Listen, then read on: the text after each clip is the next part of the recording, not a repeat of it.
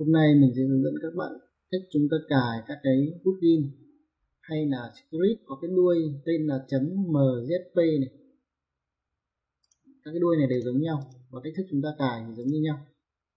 Đầu tiên chúng ta sẽ copy cái tool này. Sau đó chúng ta khởi động bạn edit này. Scripting và mục run script sau đó chúng ta paste cái tool vào đây. Bấm container đồng ý. Sau đó các bạn kích chọn vào cái tool này. Bấm chọn open. Rồi các bạn lưu ý, các bạn sẽ vào cái phần, cái tầm mai này, cái tầm user interface và phần toolbar vào cái mục này này. Để tìm chức năng training bitmap để lấy đưa ra. Đấy, thì mình sẽ đưa ra đưa lên đây. Chưa?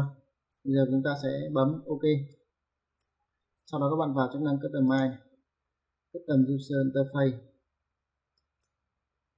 Sau đó bạn vào chức năng toolbar.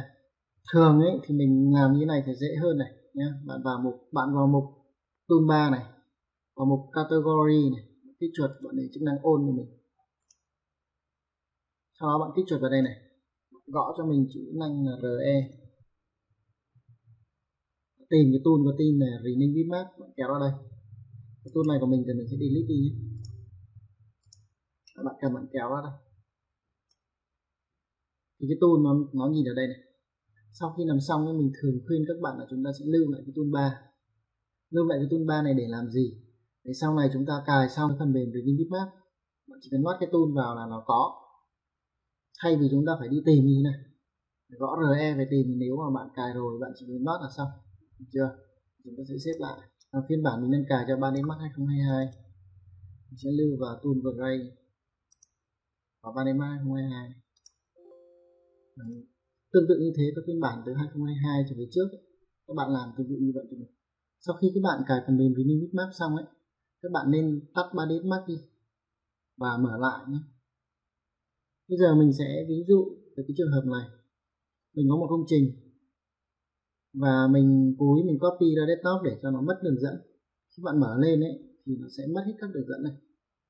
Cái nhiệm vụ của chúng ta là sẽ tìm lại cái đường dẫn mà chúng ta vừa giải lấy ra hoặc là chúng ta vừa lấy ở đâu đấy. Có nghĩa là bạn lấy một cái thư viện ở đâu. Bạn phải biết là lấy ở folder nào, thì các bạn đưa vào cái folder đó để chúng ta tìm lại đường dẫn nó bây giờ mình sẽ hướng dẫn các bạn cách chúng ta sử dụng cái tool training bitmap này. Các bạn kích vào biểu tượng training bitmap này sẽ nổi lên cái bảng. Ở đây nếu mà bạn có điều kiện thì bạn download cho người ta. Mình hiện tại mình đang hướng dẫn cái tool này, chúng ta sử dụng miễn phí. Từ lâu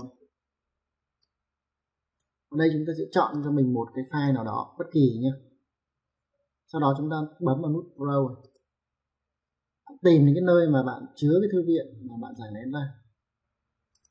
Sau đó bạn chọn vào folder đó. Chọn chức năng select folder sau đó bạn bấm chức năng thì new map thì cái đường xanh xanh ở đây bắt đầu nó chạy. Nó sẽ tìm cho chúng ta tất cả các map này. Nếu mà trong cái file đó có, bạn kích hoạt nhé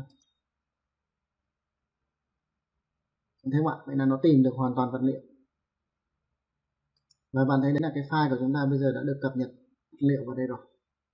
Để xem các video về hướng dẫn 3ds max Vray các bạn vào mục danh khí khác. Mục 3ds max